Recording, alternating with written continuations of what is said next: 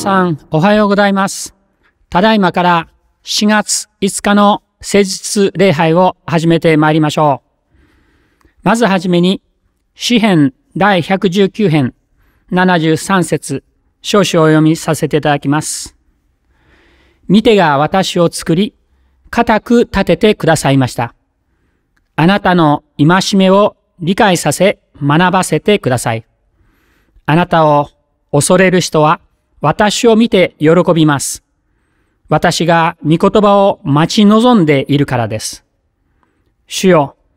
あなたの裁きが正しいことを私は知っています。私を苦しめられたのはあなたの誠のゆえです。あなたの慈しみをもって私を力づけてください。あなたのしもべへの仰せの通りに、見哀れみが私に届き、命を得させてくださいますように。あなたの立法は私の楽しみです。それでは皆さん、新聖歌第108番、丘に立てる荒削りの賛美いたしましょう。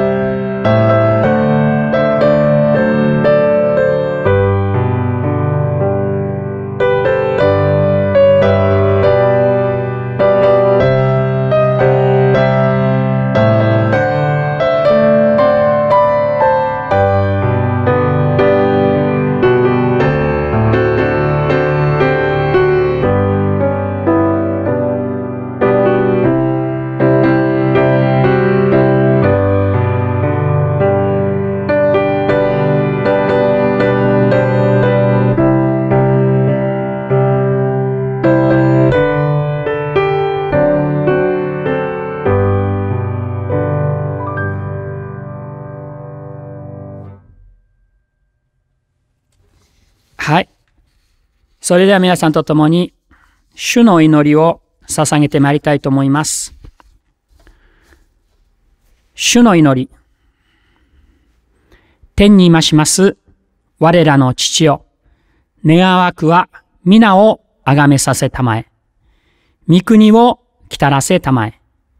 御心の天になるごとく地にもなさせたまえ。我らの日曜の糧を今日も与えたまえ。我らに罪を犯す者を我らが許すごとく我らの罪をも許したまえ。我らを試みに合わせず悪より救い出したまえ。国と力と栄とは、限りなく汝のものなればなり。アーメン。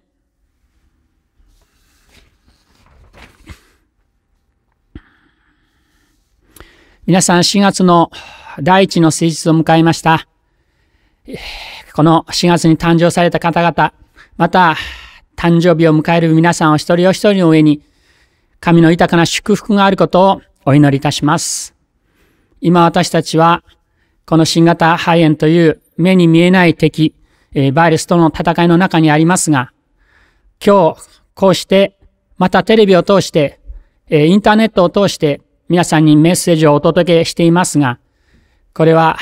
バイルスによるものではなく、むしろ私たちが愛する人たちを守るため、それぞれが一緒に集まって礼拝を持たないという、そういう選択をしているからだと思います。私たちは決して負けません。私たちは離れていても心は一つです。キリストの体としてつながっています。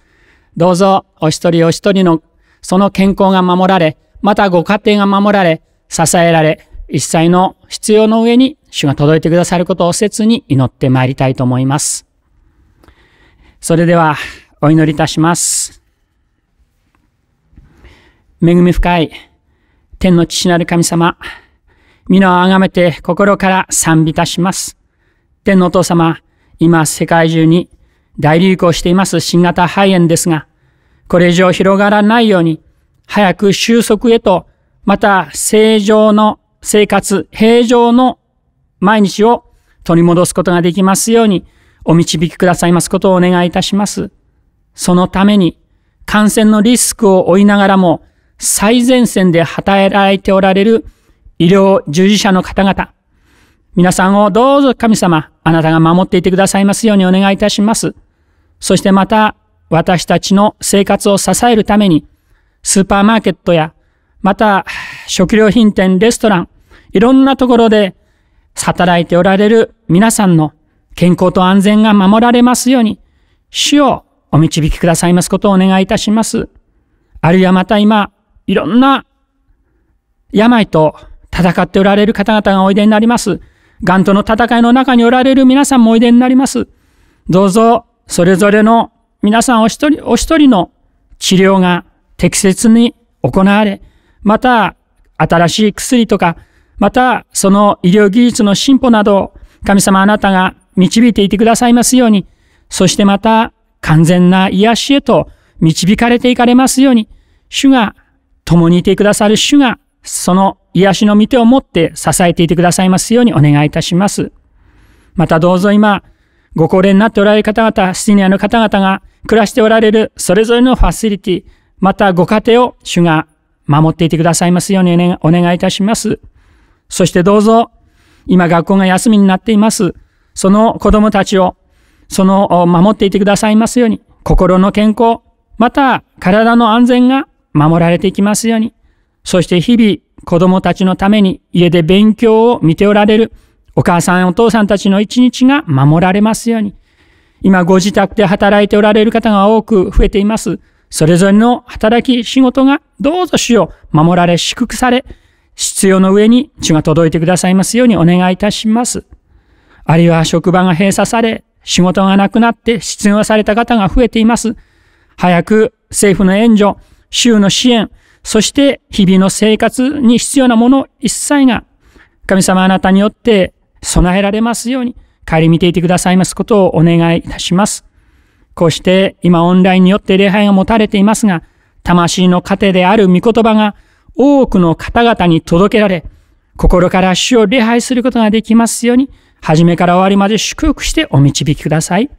主イエス・キリストの御御手にお委ねします。世界中の神を恐れる者たちの叫びと祈りを聞いてくださる、御子イエスのお名前によってお祈りいたします。アーメン。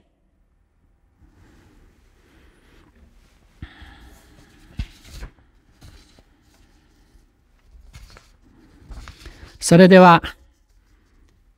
本日語られる聖書箇所の、えー、朗読をしたいと思います。マタイによる福音書21章お開きください。今週はイエス様が入場されたえー、サンデーを迎えます。受難週を迎えます。マタイによる福音書の21章から1節から11節まで拝読いたします。一行がエルサレムに近づいて、オリーブ山沿いのベトファゲに来たとき、イエスは二人の弟子に、弟子を使いに出そうとして言われた。向こうの村に行きなさい。するとすぐ、ロバがつないであり、一緒に転ばのいるのが見つかる。それをほどいて、私のところに引いてきなさい。もし、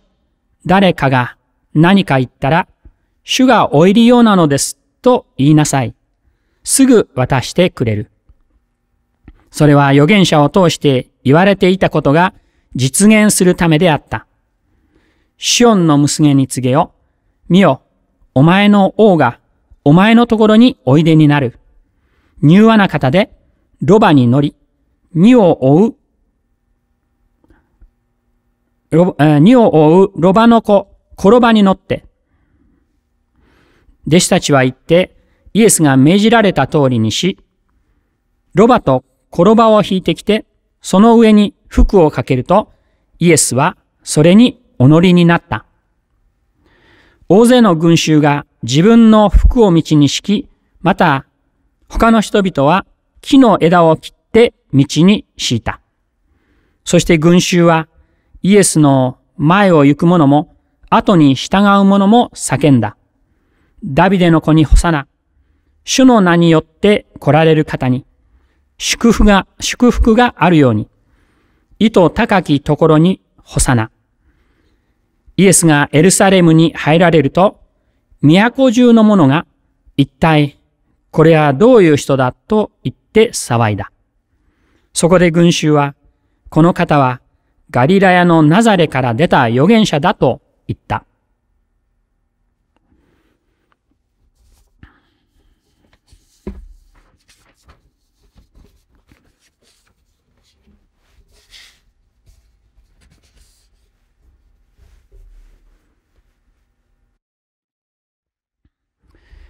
この朝、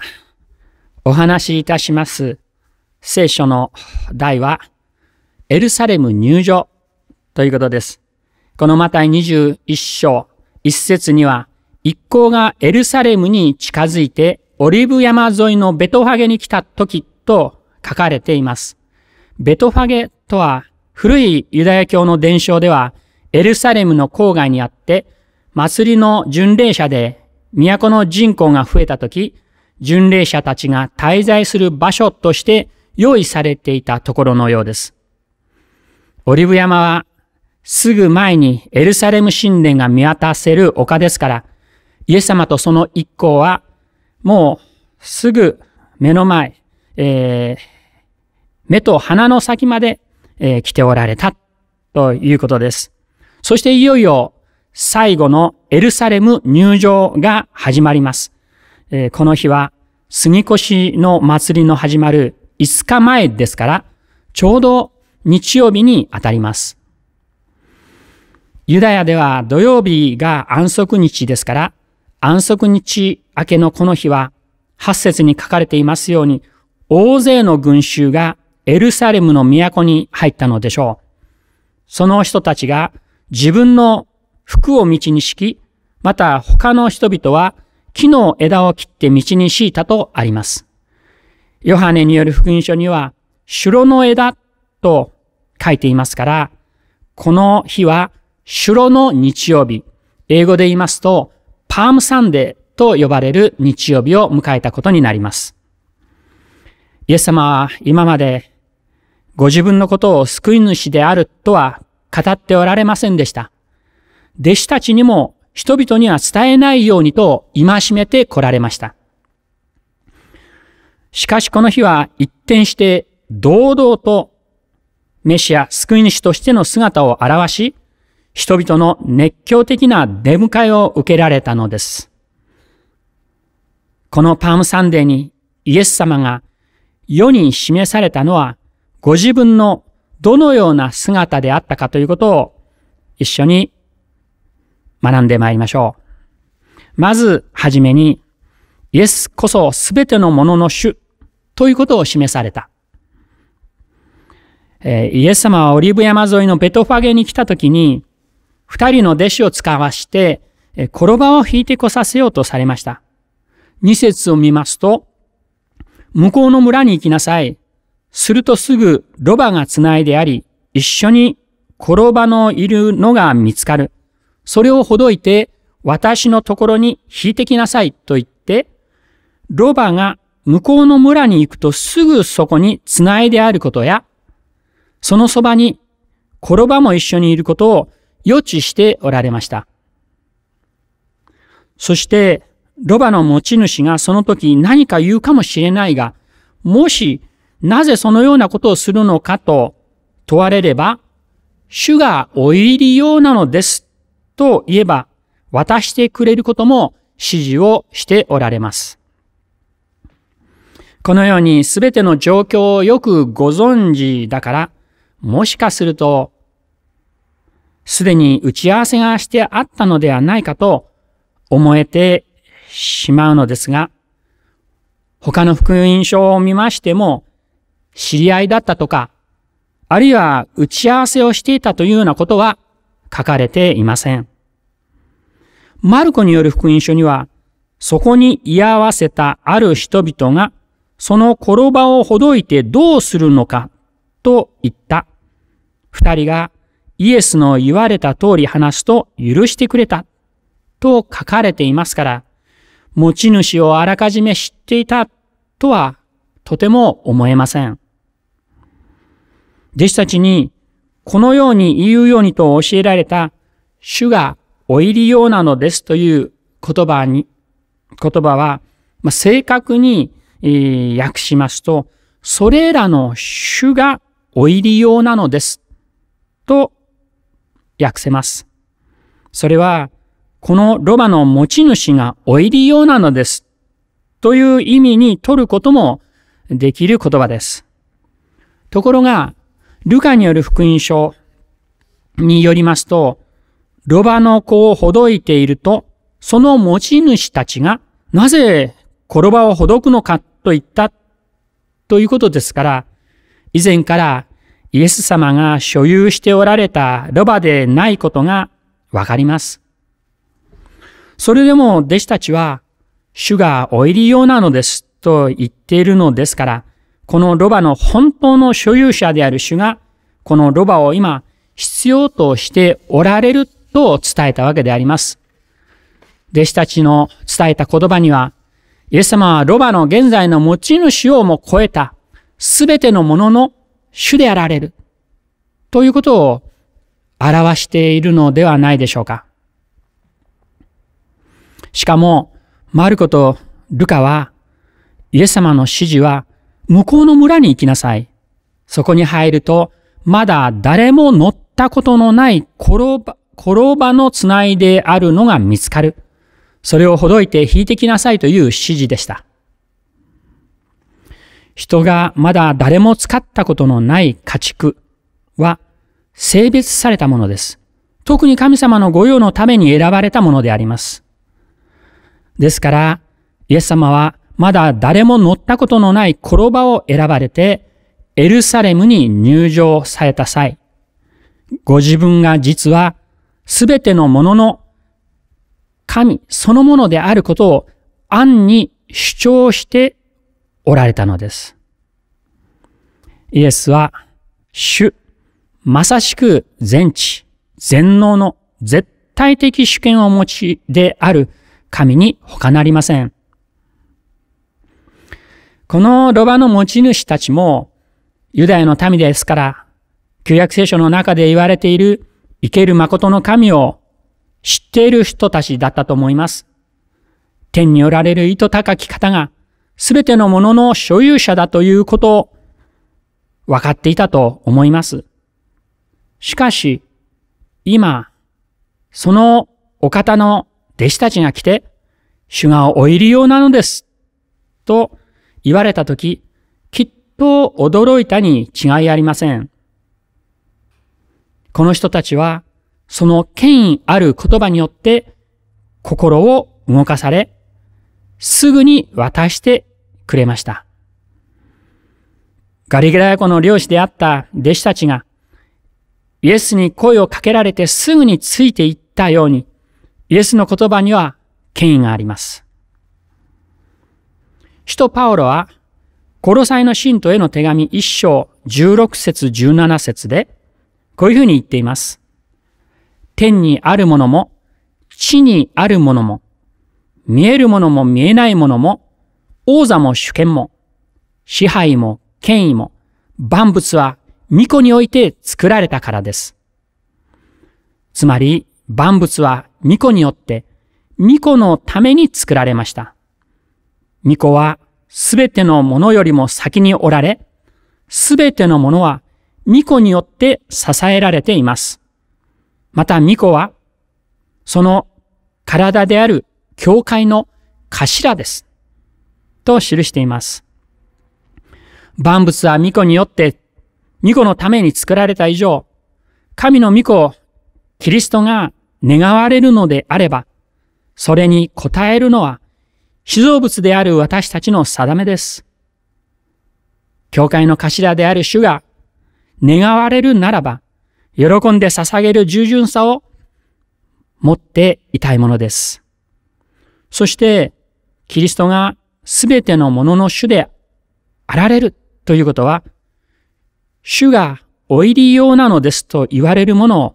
いつまでも自分のものとして繋いでおくべきではないでしょう。受胎告知を受けたあのマリアのように、お言葉通り、好みになりますようにと、私たちの心を変え、また導いていてくださる、主イエス・キリストは、頭である権威を持ったお持ちになるお方であります。4節5節で言われています、預言者を通して言われたことが実現するためであったとは、ゼカリア書の9章9節からの引用です。ゼカリア書9章9節には、娘シオンよ、大いに踊れ。娘エルサレムよ、歓喜の声を上げよ。見よ、あなたの王が来る。彼は神に従い、勝利を与えられた者、高ぶることなく、ロバに乗ってくる。メロバの子であるロバに乗って。という予言です。ところが、マタイは、その初めの娘シオンよ大いに踊れのところを、シオンの娘に告げよと変えています。この出来事は、イエス様が人々に対して公然とご自分が救い主としてエルサレムに入られることを表しているのではないでしょうか。バビロンに捕囚となっていたユダの民が紀元前540年、クロス王の命によって祖国へと帰還してエルサレム神殿の再建に取り掛かりました。しかし、周りの国からの妨害を受け、あるいはまた、機関、機関民たちも多くの困難があって、再建工事は中断してしまったのです。その時、預言者、ハガイが立ち上がり、工事を再開させます。そして、その同じ時期に活動したのが、この預言者、ゼカリアでした。ゼカリアはユダの民の霊的必要に対して指針を与え、激励を与えました。それはまるで牧者のような配慮であったと言えるでしょう。神殿が完成した後も、事態が急速に好転したわけではありません。そういう時期に神の変わることのない真実と約束の確かさとを語り続け、未来への希望を持たせようとしたゼカリアは、誠の大牧師である主の身旨を知ったに違いありません。こうして、この予言が与えられたのです。二つ目のことは、都エルサレムに入場された主イエスは、転ばに乗って入られたというところです。見よ、あなたの王が来ると言われている王とは、どのような王としておいでになるか、おいでになるのかということですが、ゼカリアは先ほどの予言の箇所でこう言っています。彼は神に従い、勝利を与えられた者、高ぶることなく、ロバに乗ってくると予言いたしました。これはちょっとマタイの書き方とは違っていますが、まず、この王は神に従いと言われています。これは神様との関係において正しい関係を持っておられる方、義という言葉で表すことができます。義なる方ということであります。そしてその王は勝利を与えられたものと言われています。これは救いを自らのうちに身につけておられる王。救いを自らのうちに身につける。つまり救い主ということです。その後の高ぶることなくというところは、マタイは柔和な方でと書いています。柔和な方だからこそ、父なる神の御心に従って、私たちのために苦しみを受けてくださったということです。そしてそのことを象徴的に表しているのが、ロバに乗るという行動です。古代、中近東におきましては、ロバは荷物を運んだり、人の移動のために使われた家畜です。イスラエルでも、王、イスラエルの、イスラエルでは王でもロバに乗っていました。しかし、やがてソロモン王がエジプトからロバを輸入しましてからは、王様は馬を用いるようになっています。そのことを考えますと、エルサレムの都に転ばに乗って入場されたイエス様こそ、誠に柔和な王として、しかも私たちの身代わりとして苦難をお受けくださるためのエルサレム入場に最もふさわしい行動だったと言っていいでしょう。ヘブライ人への手紙の記者は、2章17節18節で、このように言っています。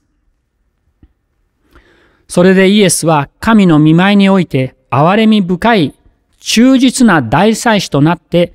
民の罪を償うためにすべての点で兄弟たちと同じようにならねばならなかったのです。事実、ご自身、試練を受けて苦しまれたからこそ、試練を受けている人たちを助けることがおできになるのですと書いています。私たちの主救い主は、柔和な方であって、転ばに乗ってエルサレムに入場された方であります。ところが、三つ目のこと、その王なるイエスを迎えた人々の反応はどうだったでしょうかそのロバの子に乗って入場されたイエス様を大勢の群衆はどのように迎えたかといえば、八節に書かれていますように、大勢の群衆が自分の服を道に敷き、また他の人々は木の枝を切って道に敷いたと書かれています。そしてその後、ダビデの子に干さな、主の名によって来られる方に祝福があるように、意図高きところに干さな、と叫ぶ者たちもいたと書かれています。この時の弟子たちはまだ、イエス様が受難のしもべとしてエルサレムに来られたことの意味を正しく理解していませんでした。ゼカリアゼカリア書に書かれていることの内容がよくわからなかったのでしょう。弟子のヨハネは晩年になってヨハネ福音書を書いたときに、その12章16節で、弟子たちは最初、これらのことがわからなかったが、イエスが栄光を受けられたとき、それがイエスについて書かれたものであり、人々がその通りにイエスにしたということを思い出したと書いています。一方、イエス様と共に巡礼の旅をしてきた群衆たちはこの時、イエスがメシアであることをはっきりと信じていました。だから、自分の服を道に敷き、また城の枝を取ってきて打ち振りながら、ホサナと叫んだのです。城の枝は、巡礼者たちが主の見舞いに出るときに振るものでした。凱旋した王や、あるいは将軍を迎えるときにも、この城の枝は打ち振られました。そして何よりも彼らの叫びがイエスをメシアと信じていることを表しています。四つの福音書はそれぞれ書き方が皆違っていますが、それでも一致していることはイエスを救い主と認めているということです。また、ホサナという叫びは、どうぞ救ってくださいを意味していますから、ナザレから出てきたイエスをメシア救い主と喜んで認めているということです。一方、シオンの娘と呼ばれたエルサレムに住む人々はどうだったでしょうかゼカリアが、娘シオンよ大いに踊れ、娘エルサレムよ歓喜の声を上げよ。見よあなたの王が来られる。と言ったように、彼らもまた大いに喜んで迎えたでしょうか。十節を見てみますと、都中の者が、一体これはどういうことだと言って騒いだと記されています。イエス様が生まれたことを知って東の国から訪ねてきた学者たちがヘロデ大王の前でこう言いました。ユダヤ人の王としてお生まれになった方はどこにおられますかそれを聞いたヘロデ王は不安を抱いた。エルサレムの人々も皆同様であった。とありましたが、あの時の不信仰は今も変わっていなかったのです。ホサナと言って喜び迎えた群衆たちも、とうとうナザレから出た預言者と呼ぶようになっていきました。そして、ついに、この日から5日の後、彼らは十字架につけろ十字架につけろと叫ぶようになったのです。後にキリストの弟子となった使徒パウロは、コリントの第一の手紙の2章でこのように書いています。この世の支配者たちは、誰一人、この知恵を理解しませんでした。もし理解していたら、栄光の主を十字架につけはしなかったでしょう。しかしこのことは、目が見もせず、耳が聞きもせず、人の心に思い浮かびもしなかったことを、神はご自分を愛する者たちのために準備された。と書いてある通りです。救いは、この私たちのために十字架についてくださった受難の主イエス・キリストからだけ来るものです。このことをもう一度心の中にしっかりと受け止め、エルサレムに順上されたキリストを褒めたたえるこの朝としたいと思います。お祈りいたします。目が見もせず、耳が聞きもせず、人の心に思い浮かびもしなかったことを、神はご自分を愛する者たちのために準備されたと。天皇父様、私たちを愛するその深い愛のゆえに、御子をすら惜しまないで世に使わしてくださったと。御言葉の中にありますように、その使わされた私たちの救い主は、ほさなほさなと人々の打ち振るその城の枝を持って迎えるその心の中をよくご存知でいてくださって、やがて十字架につけろ、十字架につけろと叫ぶ者のためにも、従順にこのエルサレムの都へと入ってくださったことを感謝いたします。私たちもかつてイエスを十字架につけろというそのようなものの一人でありましたが、今こうしてご自分を愛する者のために私たちが見もせず聞きもしなかったような素晴らしいことを備えてくださった。この週のご愛に心から感謝いたします。このパムサンデーの週、この受難週を迎える週、もう一度心の中の本当に私たちの真ん中にイエス様が臨在くださって、この困難な時ではありますが、一人一人に平和を与え、また平安を備えてくださって、一切の必要をも満たしてくださる主を仰ぎ見つつ、過ごすこの新しい週とさせてくださいますようにお願いいたします。御子イエス・キリストのお名前によってお祈りいたします。アーメン。それでは、皆さん、新聖歌の388番。いとも良きものを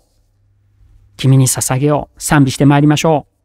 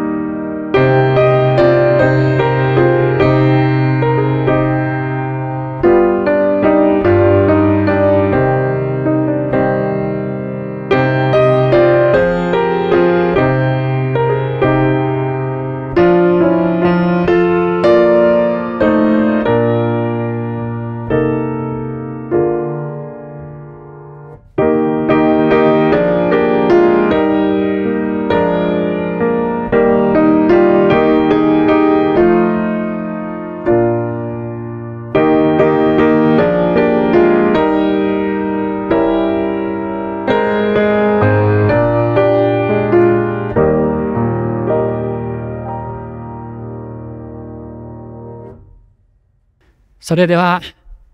これでこの朝の礼拝を終わりたいと思います。どうぞ皆さん、信仰の創始者、また完成者であるイエスを見つめながら、今週も日々過ごして参りましょう。